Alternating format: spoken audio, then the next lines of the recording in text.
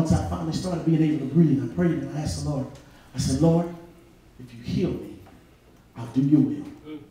If, if you ever want to know when the moment of clarity comes, if you ever want to know when the moment of unity comes, or, or as the Jews would call it, it's called Kippur. Mm-hmm. It's called Kippur. They celebrate it every year, Yom Kippur.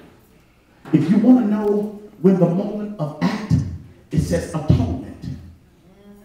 But if you break the word down, it says act one mint. It means that God and I have united in the spirit.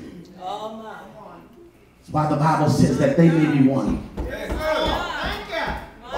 Even as we are Teaching. one. So the moment of at one mint comes. He is made strong in our weakness.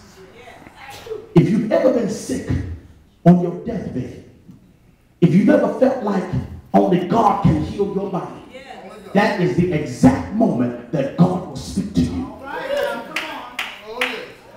Tell something.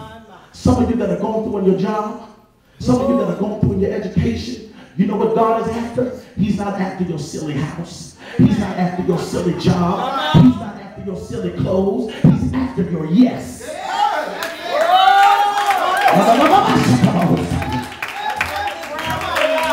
Feel God stretching out in here.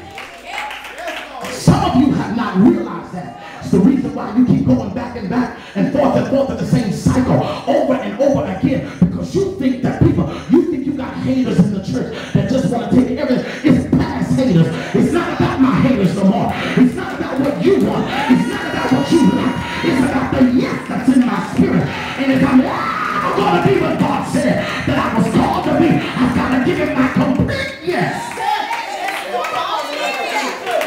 can't sit up there and half step God, think he don't know. God made you.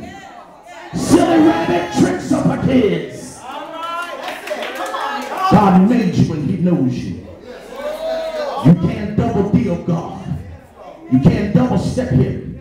You gotta give him what he wants because it's either all or nothing. See, you know what? Y'all don't mind. Let- let- I I have to, I'm about to move in the spirit. I have to get rid of these real quick. And I'm moving the prophetic. And then moving the prophetic, I gotta take my shoes off. This is holy ground.